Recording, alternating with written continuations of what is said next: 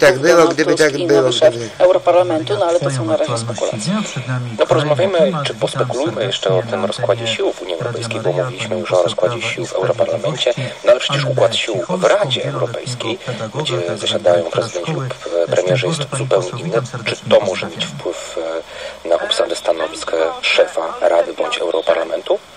Może mieć, bo to jest prawda, że w ostatnich kilkunastu, a może kilkudziesięciu miesiącach chadecy stracili władzę w kilku innych krajach. To jest nie tylko to, co się zdarzyło w 2014 roku w wyborach do Parlamentu Europejskiego, że ta różnica między nimi a socjalistami już nie jest taka duża, mm, ale teraz także, czyli nie tylko Parlament Europejski y, y, jakby stracili chadecy swoją siłę, ale także y, wzmocnili się socjaliści w, y, w unijnych krajach, jeśli chodzi o, o rządy. Dodatkowo i także liberałowie. To są te trzy europejskie partie, mają mniej więcej równą reprezentację w Radzie Europejskiej. Mówiąc Rada Europejska, mam na myśli przywódców e, państw, szefów państw i rządów, którzy na przykład przyjeżdżają na szczyty. Jeśli weźmie się rozkład najnowszy tych, którzy na tych szczytach się w ostatnim czasie pojawiali, no to zobaczymy, że no, liberałowie, socjaliści i chadecy są jednakowo reprezentowani i to sprawia, że może liberałowie zechcą mieć jakieś stanowisko dla siebie. Ten jeden z najsłynniejszych liberałów to jest obecnie szef e, grupy Guy Verhofstadt, e, chociaż jak tak sądowałam europosłów, e, czy on byłby do zaakceptowania, no to na przykład europoseł e, Krzysztof Hetman z Hadeków mówi, że to wydaje się nieprawdopodobne, no ale też dodaje. Życie w polityce nauczyło mnie, że wyobraźnię trzeba mieć szeroką.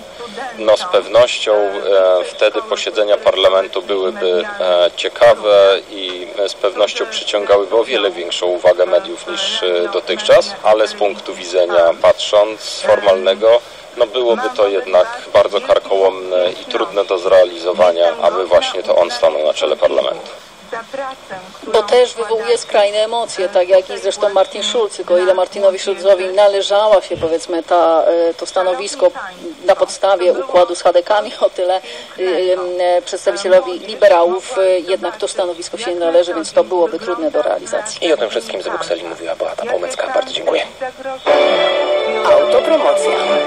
Kim byli bohaterowie z dołów śmierci? Kim byli kiedyś, kim są dla nas dzisiaj? Dlaczego żołnierzom walczącym o wolność ojczyzny dzisiaj odmawia się uroczystych pochówków należnych tym, którzy oddali życie za wolność kraju? O tych sprawach będziemy dzisiaj rozmawiali w programie z cyklu Wszystko jest historią z autorem książki pod tytułem Bohaterowie z dołów śmierci Waldemarem Kowalskim po godzinie 13.33. Serdecznie zapraszam, Jędrzej Lipski. Autopromocja. Informacje dnia w skrócie. 13.30 Piotr Topoliński. Na początek Warszawa. Przed budynkiem, budynkiem Sejmu trwa manifestacja będąca reakcją na odrzucenie w ubiegłym tygodniu przez większość posłów obywatelskiego projektu, który liberalizował przepisy dotyczące aborcji. Skierowano wtedy do dalszych prac projekt przewidujący jej bezwzględny zakaz. Akcję prowadzi Inicjatywa Polska. Na demonstracji są też przedstawiciele partii Razem i innych środowisk lewicowych. Projekt Komitetu Ratujmy Kobiety zakładał m.in. możliwość aborcji do 12 tygodnia ciąży. Po tym terminie w takich przypadkach, w jakich aborcja dozwolona jest obecnie, gdy ciąża zagraża zdrowiu i życiu kobiety, gdy powstała w następstwie czynu zabronionego oraz gdy płód jest ciężko i nieodwracalnie uszkodzony.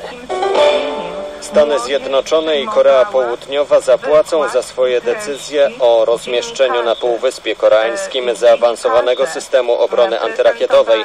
Zdanie, które brzmi jak groźba, znalazło się w dzisiejszym komentarzu redakcyjnym chińskiej gazety Dziennika Ludowego. Wczoraj Korea Południowa ujawniła ostateczną lokalizację tarczy. Przeciwko powstaniu systemu protestują chińskie władze.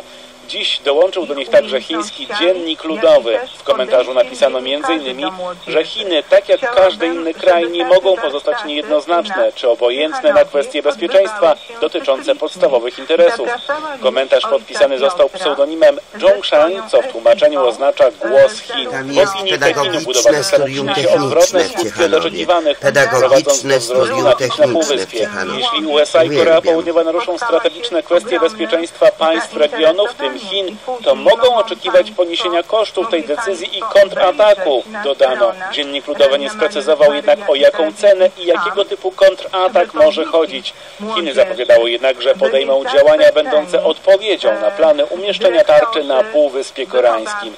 Tomasz Sajewicz, Polskie Radio, Pekin. Bardzo dobre warunki turystyczne w Bieszczadach wykorzystują to turyści, którzy postanowili spędzić weekend w górach, mówi dyżurny ratownik bieszczadzkiej grupy GOPR Jakub Dąbrowski. W Bieszczadach dziś e, temperatura waha się w granicach e, 10 stopni. W zasadzie wszędzie jest bezwiecznie, widzialność jest bardzo dobra, zachmurzenie jest e, umiarkowane i ruch turystyczny jest bardzo duży. Zapowiada się piękny weekend, najprawdopodobniej jeden z ostatnich, gdyż w okolicach środy w Bieszczadach ma się pojawić pierwszy śnieg. Oprócz wędrówki górskiej turyści mogą przejechać się kolejką leśną. Na Bieszczadzkiej pętli można spotkać kultowe samochody z lat 70. i 80. To uczestnicy 14. edycji Wielkiej Beskidzkiej Bieszczady Country. W rajdzie bierze udział 70 zabytkowych pojazdów z Małopolski i Śląska. Baza rajdu znajduje się w ośrodku Połoniny w Bukowcu. Polskie Radio 24. Słowem wszystko. 26,5 minuty pozostało do godziny 14 w Polskim Radiu 24. Zmieniamy teraz temat. Wszystko jest historią. I Jędrzej Lipski, jego gość. Na, na zegarze wybiła godzina 13.33. Przed mikrofonem Jędrzej Lipski. Witam Państwa w programie Wszystko jest historią. Dzisiaj porozmawiamy o bohaterach i o bohaterstwie.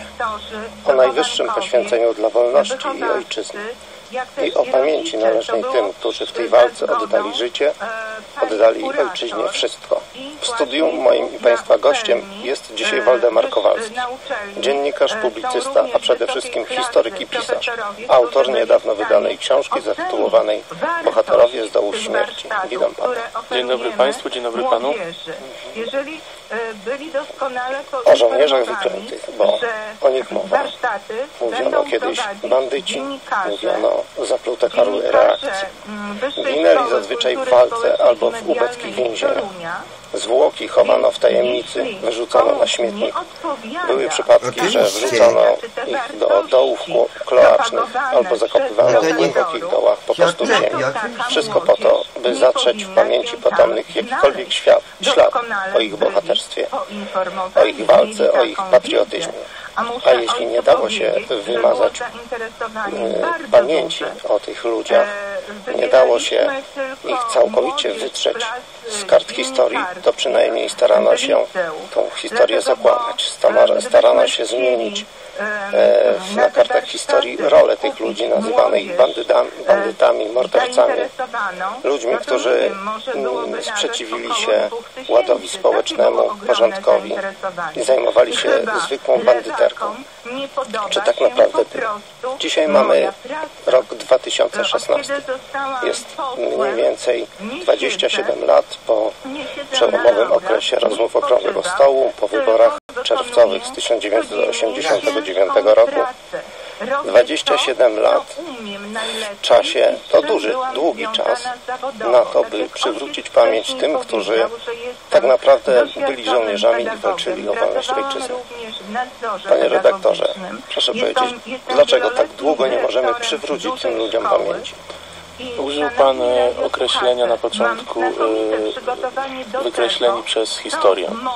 Rzeczywiście, ja zacznę może tak troszkę nie- nietypowo, e, odwołując się do czasów bardzo zamierzchłych, ale myślę, że w ten sposób można pokazać bardzo dobrze ten paradoks historii. Mianowicie już w rzymskim prawie karnym było takie określenie jak damnatio, damnatio memoria, co w luźnym tłumaczeniu można e, przetłumaczyć e, jako potępienie pamięci, przepadek pamięci. O co chodziło? Ludzi, których uznano za, za, za złoczyńców, za tych, którzy dopuścili się zbrodni obrazy majestatu, skazywano na niepamięć. Odmawiano im miejsca w historii. Wykreślano ich z e, różnych rejestrów. E, Zamazywano podobizny, o ile oczywiście takie podobizny istniało. Ich krewnym zakazywano noszenia ich nazwisk. Dlaczego o tym mówię? Ponieważ z żołnierzami podziemia niepodległościowego. To było podziemie Do tego także niepodległościowe po II wojnie światowej i o tym trzeba jasno i klarownie powiedzieć. E, Działo którą się posiadało zupełnie to kuratorium wyraziło zgodę na organizowanie tych że warsztatów, że cały w tym ten naszym proces, spotkaniu który zaangażowana była uczestniczyli machina także przedstawiciele państwa Państwowej Wyższej Szkoły komunistycznego, Zawodowej machina w Ciechanowie na totalitarnego. czele z panią dziekan i panem Był kanclerzem. obliczony na Tak, jak e, najbardziej. Przedstawienie tych ludzi nie e, tylko w podobały niekorzystnym świetle, ale poprzez sfingowanie dowodów, rzekomych e, dowodów bardzo ich zbrodni i bandytyzmu, zupełne odsądze, do młodzieży, odsądzenie od czci, skazanie na niepamięć, tak jak e, mówiłem. Ci ludzie mieli tylko zostać. Skazani E, w pokazowych procesach, e, e, uprzednio wyreżyserowanych, zarówno e, jedną ale także mieli zostać i pochowani Bo gdzieś w zupełnym bezładzie pod murem cmentarza. W swojej i książce skupiłem się na I e, e, postaciach, które mm, prawdopodobnie, bo e, tutaj pewności nie ma, bo tylko trzech bohaterów z tej książki zostało już odnalezionych, a zidentyfikowanych, ale prawdopodobnie, e, prawdopodobnie wszyscy zostali Zawodowej gdzieś Ciechanowa. e, pochowani na Powązkowskiej Łączce. I co obnaża ten paradoks historii? Mamy z jednej strony właśnie bohaterów, ludzi, którzy bezprzykładnie e, walczyli o wolność kraju, poświęcali swoje życie i ginęli. Ginęli od strzału w tył głowy, zadawanego przez e, wymiana kata, strażnika myśli więzienia Mokotowskiego. Dla którego Pani uśmiercanie poseł, bohaterów bardzo to było jedno z dziękuję, tak zwanych dziękuję zadań specjalnych. spotkanie, które odbyło się E, 29 Z wyjątkiem e, jednej postaci, którą opisałem, czyli generała, e, patronatem generała pani Emila. Augusta Fildorpa-Nila, Tymi problemami nie zrażamy e, się świetny i działamy życiorys, który dalej został pohańbiony młodzieży, ale e, także i zginął e, na stryczku poprzez powieszenie karą, tak trzeba dodać, przewidzianą dla pospolitych przestępców oraz e, zbrodniarzy hitlerowskich. Do, książki przejdziemy za chwilę. Jeszcze chciałbym poruszyć dwa bieżące tematy. Jeden sprzed dwóch tygodni że bodajże, idziemy w dobrym w kierunku. 22 września wprowadzamy podczas czwartkowej, to był czwartek, podczas czwartkowej sesji Rady Miasta e, w Częstochowie doszło do no, kuriozalnej sytuacji, w której e, radni miasta odmówili prawa do postawienia e, w centrum Częstochowy Bardzo dziękuję za rozmowę i gorąco pozdrawiam Panią poseł. Bóg zapłać z Panem Bogiem.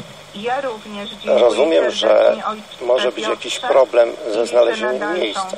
Rozumiem, że jest jakiś problem e, z e, bieżącą polityką architektoniczną miasta. Z Panem Bogiem Ale nie rozmawialiśmy z rozumiem, posłem Prawa i Sprawiedliwości, e, panią Anną Cicholską, mieście wieloletnim doświadczonym pedagogiem, także dyrektorem szkoły. Rozmawialiśmy o warsztatach medialnych prawa Media, które odbyły się w Ciechanowie, które w sposób tego, bestialski zostały za zaatakowane przez liberalno-lewicowe media, w tym e, także portale internetowe, swoje miejsce łącznie z tymi portalami tam, lokalnymi. właśnie w tym mieście. Kuriozalne w tym wszystkim jest to, że e, radni mm, Częstochowy tłumaczyli, Że dzisiaj e, tłumaczyli to mm, tym, że miejsce, w którym mógłby stanąć pomnik Inki, lepiej byłoby przeznaczyć na plac zabaw dla dzieci.